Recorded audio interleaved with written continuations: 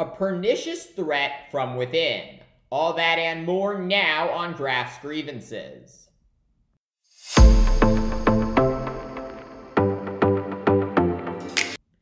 Days before Thanksgiving, two fistfights nearly breaking out on Capitol Hill.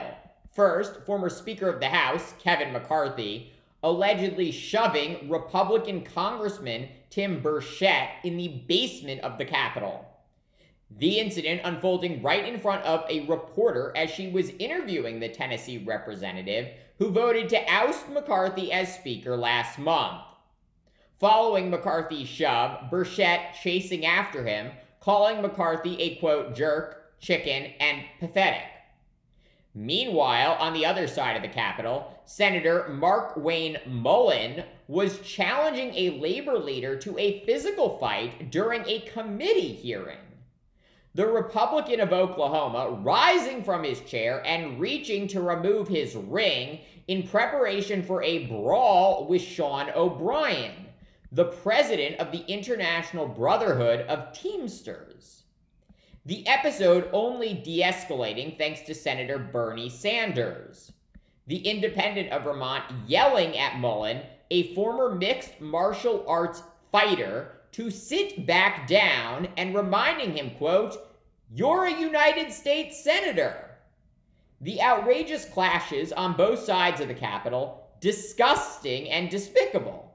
Here are two of the most powerful men in all of the world, literally acting worse than troubled middle schoolers.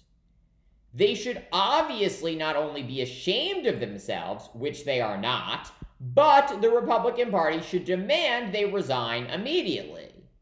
Of course, that will not happen, and as a direct result, I fear such barbaric behavior will not only continue, but escalate.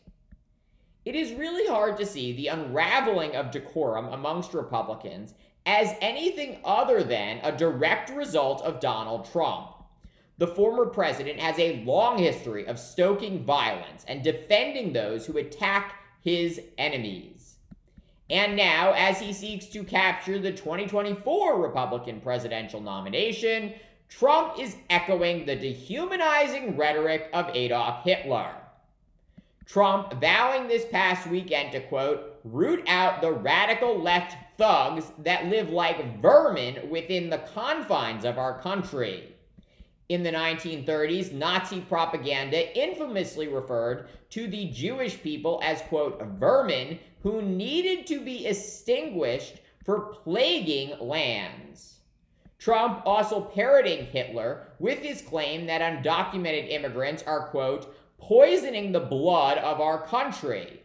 The Nazi dictator literally employed the same language in his manifesto to claim that immigrants, Jews, and interracial couples were somehow impure.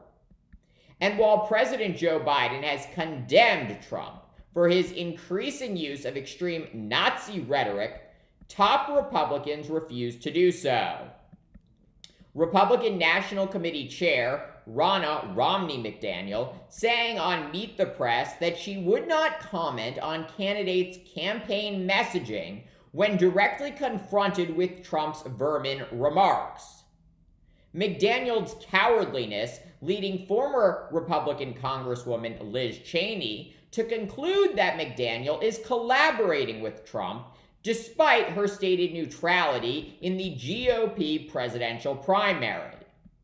As for the new, holier than thou Speaker of the House, Republican Mike Johnson, Trump has his wholehearted endorsement.